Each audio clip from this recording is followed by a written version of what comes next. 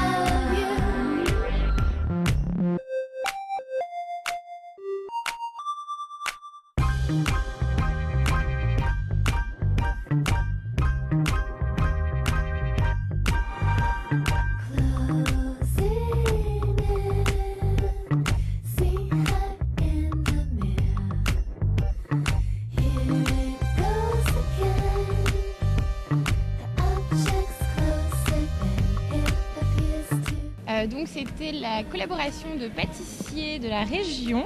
On, mixait, euh, c'était par binôme, les créatrices de maisons de mode et, euh, les pâtissiers qui devaient créer une robe euh, en chocolat.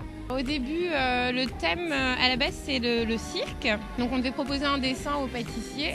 Après on se rencontrait et lui nous parlait des euh, différents euh, problèmes techniques parce que le chocolat c'est lourd, ça craque et du coup euh, à appliquer sur, euh, sur un tissu euh, c'est un, un peu compliqué. Et euh, donc voilà, on a parlé de tout ça et ensuite on s'est mis d'accord sur un modèle.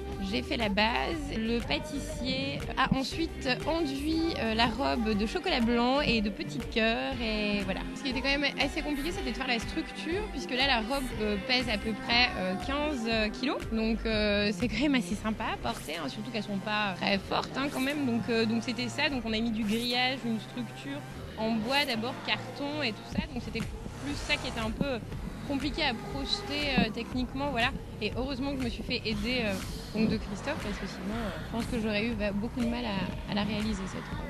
J'avais appelé la robe Choco Chabac parce qu'en fait il y avait donc chocolat forcément, chat en inspiration avec Chanel, je voulais un truc un peu graphique, noir et blanc et un peu enfin voilà chic. Et puis toujours le côté un peu ludique d'hystérique, euh, le mixer avec ça. Donc je suis euh, Jean-Daniel Vandewaal, je suis le gérant de la pâtisserie euh, au doigt de Jambard à Dunkerque que j'ai repris en, 2000, en 2005. Alors oui, on, on tâtonne, euh, on tâtonne beaucoup. hein. Moi, c'est la première fois que je faisais, euh, je faisais ça. Je me sentais pas spécialement à l'aise puisque il y a évidemment des contraintes techniques au niveau de la, température, hein. Le- également euh, le, poids puisque on est quand même sur une robe assez, conséquente puisqu'on a déjà une structure en, bois et en papier mâché. Et puis euh, avoir quelque chose de, lisse puisqu'on est, on est parti sur une, euh, robe euh, cloche, donc avoir un, effet quand même euh, lisse et, quelque chose qui donne l'impression d'avoir quelque chose de, léger. On a sculpté en fait parce que le, chocolat se modèle, donc pour avoir, pour avoir quelque chose de bien lisse et de, bien blanc. Et puis après, comme on est dans un esprit euh, noir et blanc, on est venu ensuite euh, coller euh, nos, nos petites cœurs et nos, et nos pastilles, nos pastilles noires. Non, c'est bien, c'est bien d'avoir un, un œil, un œil extérieur. on travaille avec des personnes qui voient pas du tout les contraintes techniques du chocolat, qui pensent juste au côté, au côté décor. Et oui, ça, ça vous pousse, ça vous pousse à faire mieux, bien sûr.